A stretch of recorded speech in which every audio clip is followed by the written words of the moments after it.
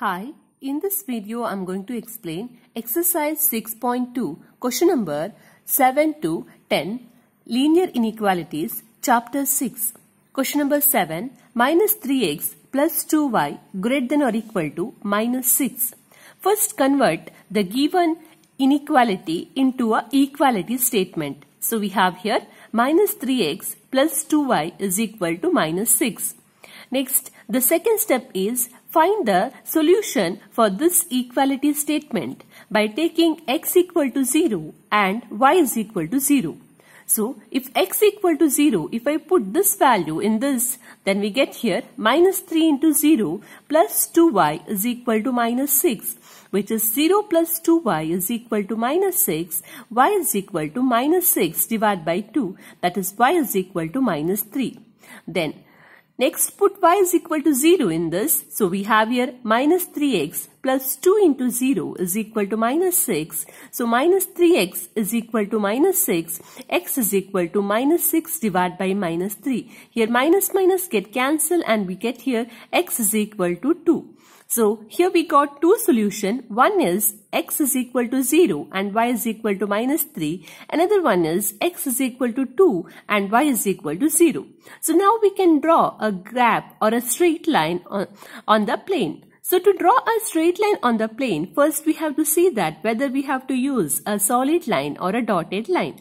See, just see the inequality. Here we have greater than or equal to, which is a slack inequality. That means we have to use a solid straight line. We are not using here dotted one. We are using here solid straight line. So first locate the points on the plane. So we have here 0 minus 3. 0 minus 3 means this point. Then 2 0 2 0 that is x is 2 y is 0 so this point. Now you can draw a straight line from this point to this point. So we have a straight line. Next step is after drawing this straight line, we have to see that which area we want to shade. So to see that, just take the inequality minus 3x plus 2y greater than or equal to minus 6. In this inequality, put x equal to 0 and y is equal to 0. Then we get here 0, 0, so 0 greater than or equal to minus 6. See, if you see this inequality, 0 greater than or equal to minus 6, this is a true inequality. So that's why if the value is true and we have taken here point 0, 0, so for this point we got the value as true. That means we have to shade the area which is towards this point, that is towards the origin. We have taken the point 0, 0, so we got true here means we have to shade this area. So that's about question number 7. Next here, question number 8 we will see. Question number 8 is 3y minus 5x is less than 30. So first convert the given inequality into a equality statement. So we have here 3y minus 5x is equal to 30.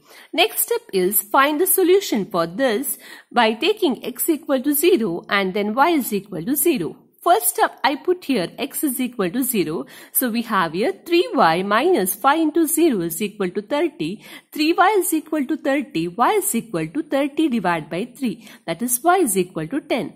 Next, let us take y is equal to 0. So we get here 3 into 0 minus 5x is equal to 30. So minus 5x is equal to 30. So x is equal to 30 divided by minus 5 which is x is equal to minus 6. So now here we got two solutions for this equality statement. One is 0 and 10. Another one is minus 6 and 0.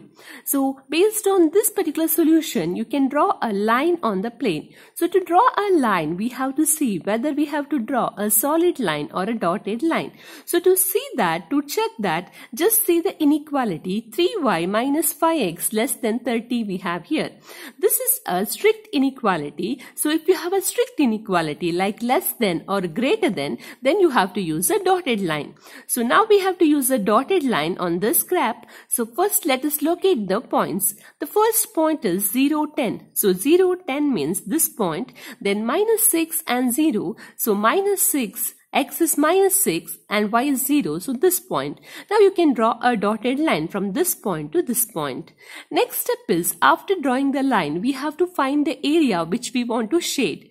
So to find the shaded area, just take the inequality 3y minus 5x less than 30 and put x equal to 0 and y is equal to 0. After taking the value x equal to 0 and y is equal to 0 in this inequality, we get here 0 is less than 30. See, if you see this one, 0 less than 30, this is a true inequality. This is true. So, and we have taken the point 0, 0 and for this point, we got the value as true. That means we have to shade the area towards this point, that is towards the origin. So, that means here this is the shaded area for the inequality 3y minus 5x less than 30. Next here we will see question number 9. Question number 9 is y is less than or less than minus 2 y is less than minus 2 we have here. So just convert the given inequality into a equality statement. So we have here y is equal to minus 2. Here we can directly draw a line. No need to find the solution. y is equal to minus 2 means here this is the point here y is equal to minus 2. So y value is minus 2 for, for all the values of x. So here we are not considering the particular value of x. For all x y is equal to minus 2. So that's why you can draw a line from this area area. So to draw a line, we have to see whether we have to draw a dotted or a straight line. See here, we have that is y less than minus 2 which is which is a strict inequality. That means you have to use here dotted line.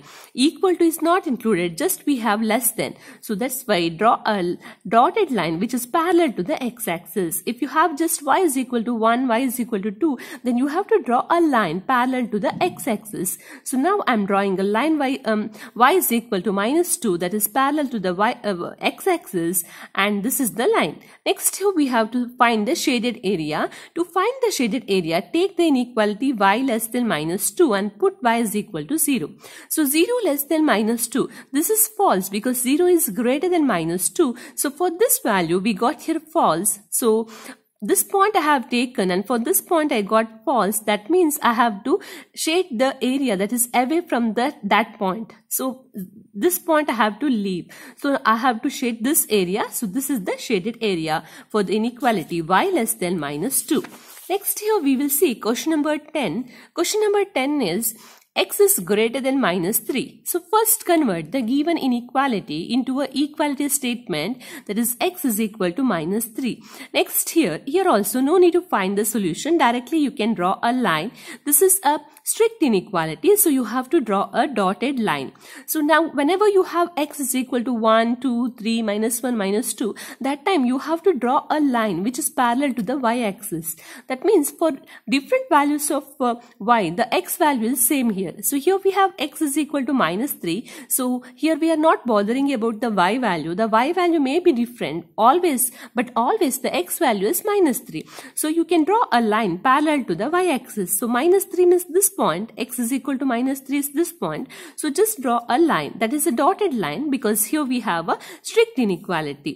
So this is the line represent this inequality x greater than my x is equal to minus 3.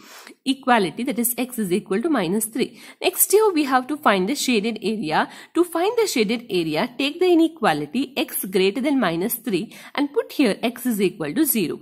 0 is greater than minus 3. See this is a true inequality. So and I have taken the point 0. I have taken this point and uh, I got the value as true. That means you have to shade the area that is which is towards that point. So this is the point. So this side you have to shade the area. So we have the shaded area like this way. That is this is the shaded area which is towards the point. So this is about exercise 6.2 question number 7, 8, 9, 10. If you like this video, please like and subscribe. Thanks for watching.